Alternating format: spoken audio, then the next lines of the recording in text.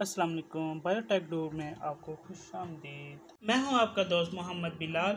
आज हमारे पास फार्माकोलॉजी से कैमोग्राफ मशीन आई है। फार्माकोलॉजी में अक्सर इसको स्पीड बहुत कम चाहिए होती है, ताकि वो अपना प्रोसीजर कर सकें और ड्रग्स की नोयत का पता लगा सकें।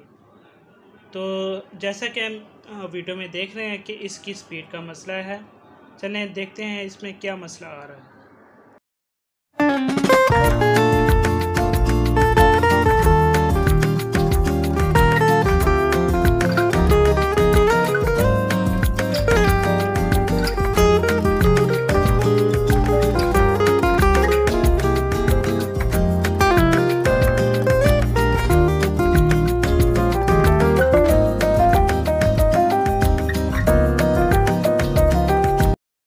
मशीन को ओपन करते ही हमारे सामने एक गरारी असम्बली नज़र आ चुकी है।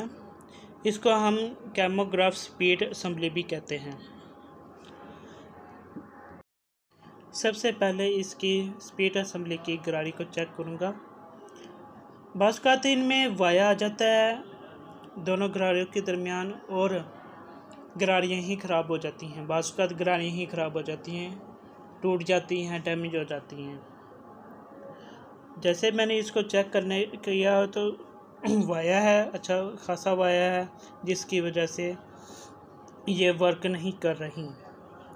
इसको हम एडजस्ट करेंगे। ये एक पॉइंट है।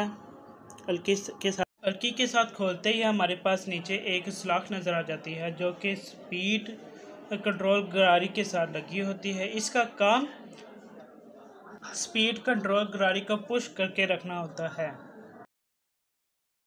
अब हमने स्पीड कंट्रोल गरारी को एडजस्टमेंट किया है और सलाख को एक जगह से उतार कर दूसरे सुराख पर लगाया है ताकि ये टाइटली गरारी को पुश करके रखे और गरारियों में वाया ना आने दे।